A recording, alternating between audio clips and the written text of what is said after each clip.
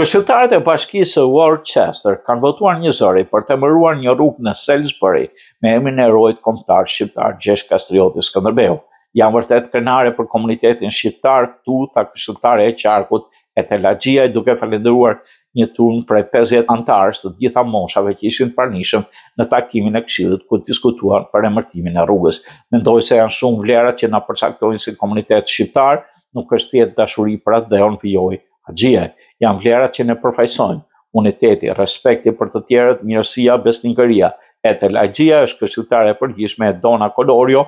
që të dyja me origjinë shqiptare realizuan peticionin për të emërtuar një pjesë të rrugës Salisbury nga Park Avenue deri në linjën Holden si Gjergj Kastrioti Skënderbeu Way.